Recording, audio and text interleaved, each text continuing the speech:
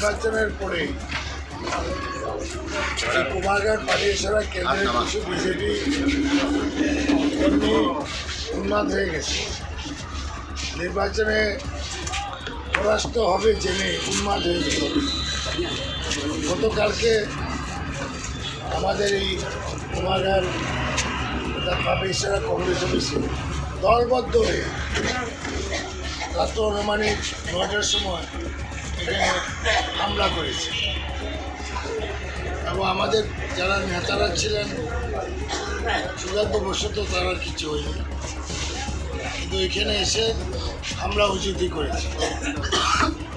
এরপরে সোনাইমুড়িতেও গতকালকে আমাদের কর্মীদের বাড়ি ঘরে ঢুকে হামলা উচিতই করেছে এবং পুলিশের উপরেও হামলা করেছে আমরা।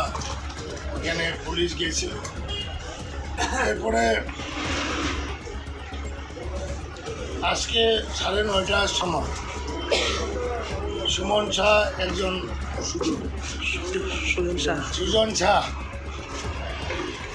একজন সিপিআইএম কর্মী।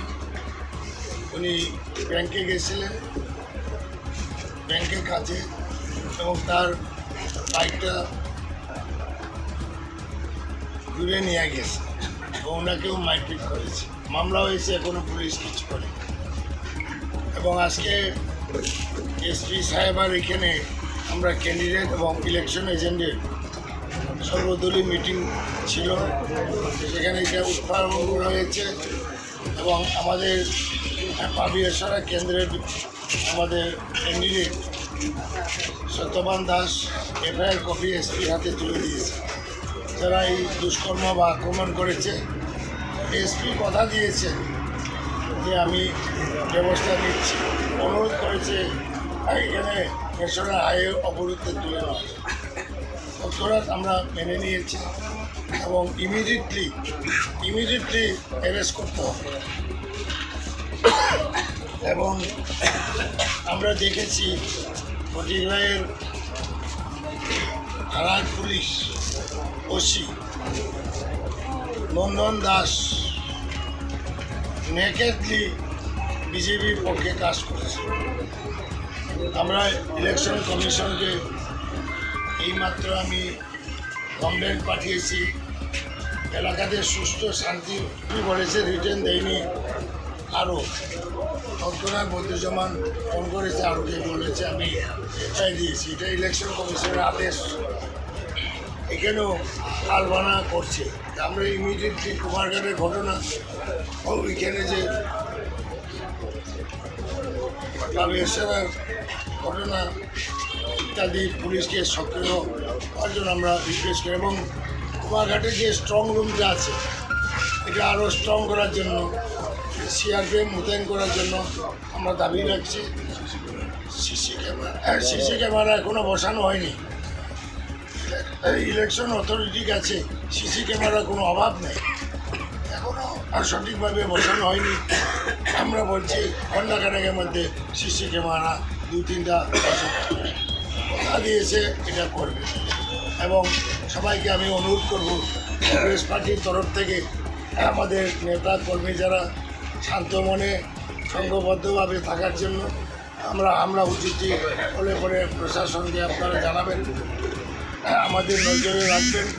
কারণ কারণ এই নির্বাচনে বিজেপি শাসক দল পশুদষ্ট হচ্ছে। এবং বিজেপি তারা সব কেন্দ্রেই পরাস্ত হয়ে যাচ্ছে। আদিবাসী রিজার্ভ সিটগুলোতে তো এরা দাঁত ফুটাইতে পারছে না। জেনারেল সিট বা রিজার্ভ সিটে অন্যদিকেও বিজেপি দশটা সিটও পাবে না। বিজেপি দশটা সিট পাবে না এবং উন্মাদ হয়ে গেছে। আমাদের কর্মীরা ধৈর্য সহকারে অপেক্ষা করতে হবে সংঘবদ্ধভাবে এবং প্রশাসনকে আমরা সহযোগিতা করব। যে কোনো ঘটনায় ইলেকশন কমিশনকে জানাতে সন্ত্রাস কারা করে? পরাজিতরাই সন্ত্রাস করে। সন্ত্রাসের মাধ্যমে এই কেন্দ্রগুলোতে কংগ্রেস এবং সিপিআইএমের জুটের কর্মীদের উপর আক্রমণ করা হচ্ছে। কুমারঘাটে এক এক করে চারটা ঘটনা সংঘটিত হয়েছে। চণ্ডীপুর কৈলাস শহর এবং করমচোরা এই এলাকায়ও কংগ্রেস কর্মীদের বাড়ি বাড়ি গিয়ে হুমকি, হুজ্জতি, ভয়ভীতি প্রদর্শন করা হচ্ছে। এই ব্যাপারে আজকে অল পলিটিক্যাল পার্টির মিটিং ক্যান্ডিডেটের মিটিংয়ে এটা আলোচনা হয়েছে। যদি এটা বন্ধ করে না তো কংগ্রেস পার্টি তাদের কর্মী এবং সমর্থকদের রক্ষার তাগিদে আমরাও বৃহত্তর পদক্ষেপ নিতে কিন্তু বাধ্য থাকব আমরা কিন্তু পিছপা হব না। আমরা ইলেকশন কমিশন বর্তমানে এসপি প্রশাসন প্রশাসনের নিরপেক্ষতার প্রতি আমরা আম, সম্মিলন প্রকাশ করছি। আসামি আমাদেরকে পিটা হবে অথচ আমাদের লোককে আবার অ্যারেস্ট করা হবে। আমরা তাদের বিরুদ্ধে মামলা করি তাদেরকে অ্যারেস্ট করা হয়। যেটা সুরাইমুনির ঘটনা। সুরাইমুনিতে আমাদের ছয়জনকে অ্যারেস্ট করে নিয়ে আসা হলো। যে ছয়জনের উপরে আক্রমণ করা হলো। অথচ যারা আক্রমণ করল, সেই আক্রমণকারীকে গ্রেপ্তার করা হয়। যেটা তো মেনে নিতে পারি না। যেহেতু এখানে আমাদের রাজ্যের সর্বোচ্চ নেতৃত্ব এখানে উপস্থিত, আমরা জেলার নেতৃত্বরা বসে পরবর্তী পদক্ষেপ আমরা নেব। আমরা শান্তি শৃঙ্খলা বজায় রাখার জন্য আইনের কাছে দায়বদ্ধতা প্রশাসনকে আমরা সহযোগিতা করব, কিন্তু পুলিশ প্রশাসন যাতে দলদাসে পরিণত না হয়, সেই ব্যাপারে পুলিশ প্রশাসন ও জেলা প্রশাসনের তরফ থেকে আমাদেরকে আশ্বস্ত করতে হবে। অন্যথায় কংগ্রেস পার্টি করে বসে থাকবে। আমাদের জুটের আমাদের জুটের বড় পার্টি সিপিআইএমও করে বসে থাকবে। আমরা উভয়ে মিলে এর প্রতিরোধ করব। আর আর যে ঘটনাটা হলো সেটা নিয়ে কি বলবেন? এটা তো অত্যন্ত দুঃখজনক নিন্দনীয়। এটা এক- একজন কর্মীর সমর্থক ব্যাংকে গেছে টাকা জমা দিতে। এখান থেকে বের হচ্ছে ওনার মোটরসাইকেল পাচ্ছেন মোটরসাইকেল নিয়ে যাচ্ছে। এটা কোন মগের মূল্যকে আমরা বলি?